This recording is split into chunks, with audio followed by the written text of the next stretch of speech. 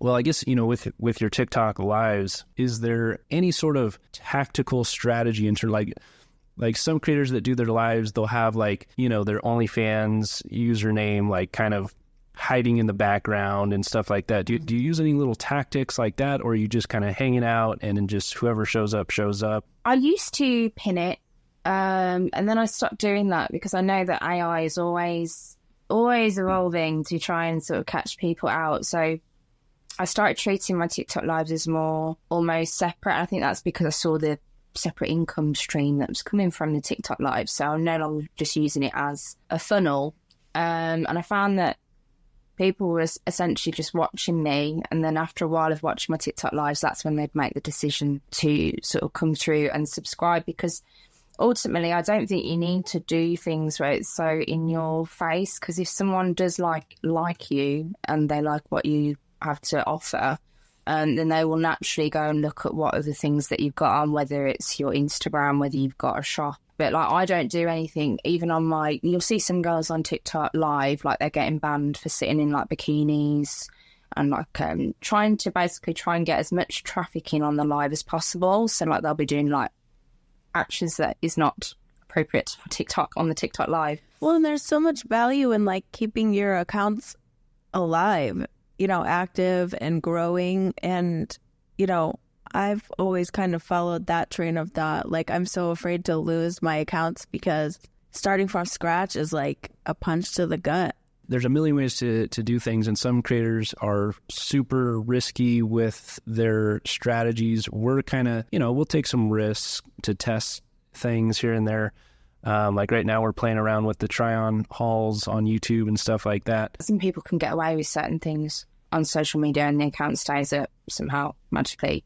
I think that's becoming less and less though, because I do see accounts getting burned through left, right, and center. So I think it does catch up with you. In your case, I mean, the way because a lot of creators do TikTok live, but like kind of like you said, they the amount of accounts that they burn through just by trying to you know do sneaky little tactics and and things like that.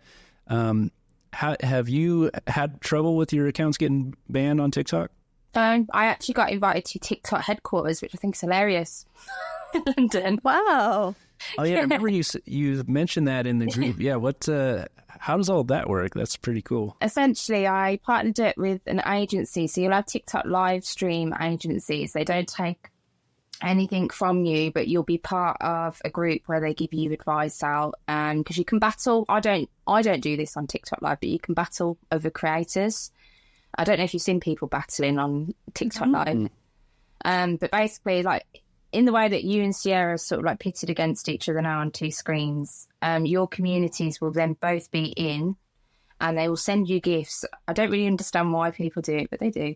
They'll send gifts to make sure that that creator wins. So someone sends like a TikTok universe that's like £350, which is what, like $600 in the space of um, like a minute. And an agency they take so TikTok pays the agency if that makes sense. They don't take anything from you. And um, because of how well I was doing with the gifts, um, I had a message through from the guy that manages the agency, and he said, um, "We'd like to invite you down to TikTok headquarters just to do like a bit of networking." Um, sort of meet other creators that are doing particularly well on TikTok Live, which I thought was quite funny that they'd invited a like a dominatrix down. That's amazing. So did you did you end up meeting like other like other people to yeah it's quite cool. it was like um it's interesting because there's people also there's a guy there that just plays guitar so he just live streams playing a guitar and people will sort of gift as he's sort of busking so not only is he getting sort of his busking income but he's also like live streaming his busking on tiktok live oh.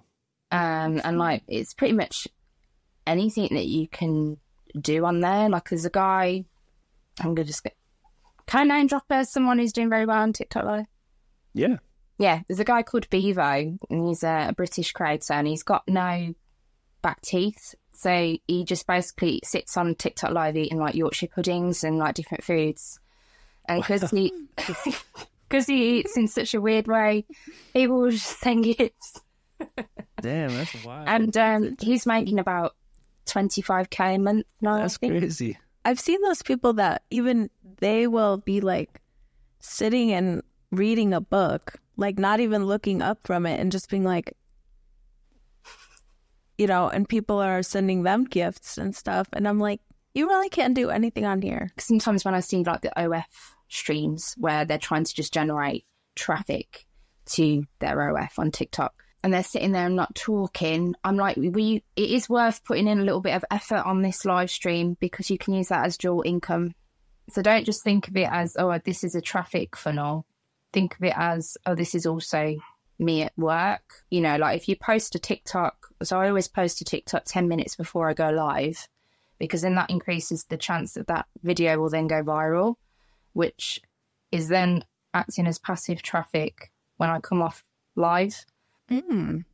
So, because it'll cause a spike in views, you see. So they'll go on my live, and then if I've posted a video 10 minutes ago, then they'll look on it. It's more likely that they're going to engage, which then obviously sends the likelihood up that it's going to do do well.